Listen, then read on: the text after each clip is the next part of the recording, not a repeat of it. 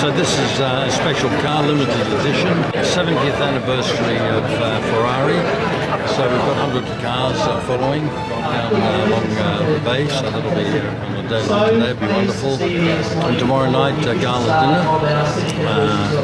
Friday is Motor Classica, uh, where there'll be a breakfast and media presentation there. Sunday will be the best day, will be in Lygon Street.